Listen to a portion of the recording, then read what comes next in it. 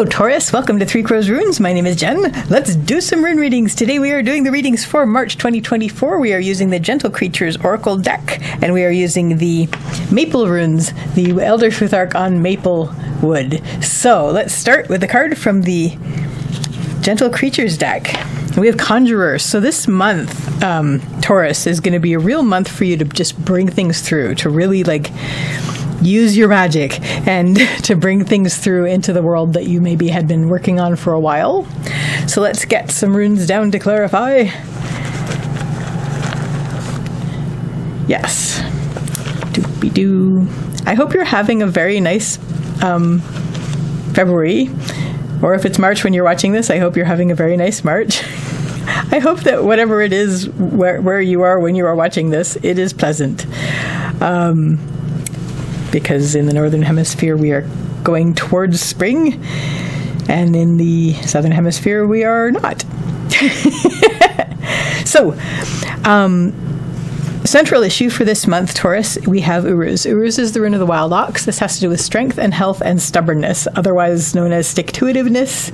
Um, it looks like you are feeling very much in your element, very strong, very grounded, and very much um, able to continue to push forward without being swayed with what you're doing. You have just been through a challenge. Um, we have Thurisaz, which is the rune of the challenge. This is not an impossible challenge. This is something that you were able to do ultimately relatively easily. It was just a matter of psyching yourself up and stepping through the door or across the threshold to do it. Um, this is the Thorn, the Giant, the Gateway. It is upright, so it's an open door you've just stepped through it, but it took it took something for you. It took some bravery to to get through this door. Um, so now you're in a state where you're standing very strong. You're feeling very solid and grounded, and you're ready to bring things through. What is going to help you is what you have learned about yourself. We have Perthro reversed. Perthro is the rune of the lot box. This has to do with surprises and fate. Reversed in the upper line, it's usually about up um, inner. So it's your inner it's what you've learned about yourself. It's your inner revelations, your inner surprises, and things about yourself that that were revealed that were always the case, but you didn't really acknowledge them yet, and now you have, and things are good, and that's what's helping you.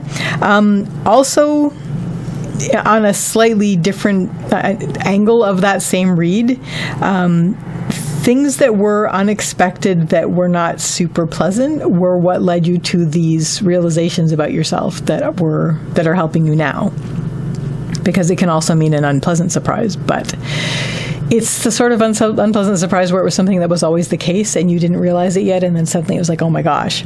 But because of what you learned from that, um, this is what's helping you right now while you are feeling very strong and able to take care of the things that you need to take care of and like really get that grounding and, and be strong.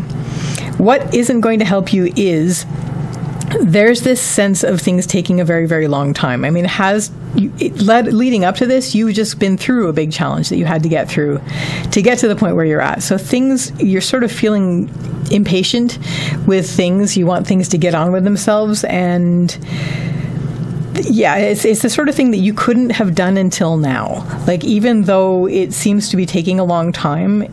Sorry, this is uh, Eihwaz, which is the root of the yew tree. This has to do with patience, slow growth, slow development, step by step, moving between worlds, all of that kind of thing. But in the lower line, it's a worry about those things.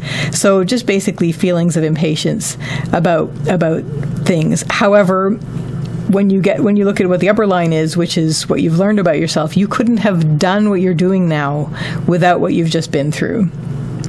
So if that starts to drag you down, bring yourself back up and go, you know what? I am exactly in the right time to do this right now. And I wasn't before until this moment. So knock it off, impatience. so what this is going to lead you to by the end of the month is you're going to become very aware of what you need. Um, this is not emergency drop everything kind of need. This is just kind of you will be very aware of your needs for your next step on what you're doing. We have now uh, Nauthiz, which is rune of need, and it always means tend your needs. It's basically the little need fire. So you will become during the course of the month very aware of what needs to be done and where your needs lie and at the same time bringing things through. I'm hearing lots of traffic. I'm thinking maybe I might want to close the window for the next reading. so that, Taurus, is your reading for March 2024. I wish you all the best with this, and I wish you a lovely day or evening. Take care till next time. Bye.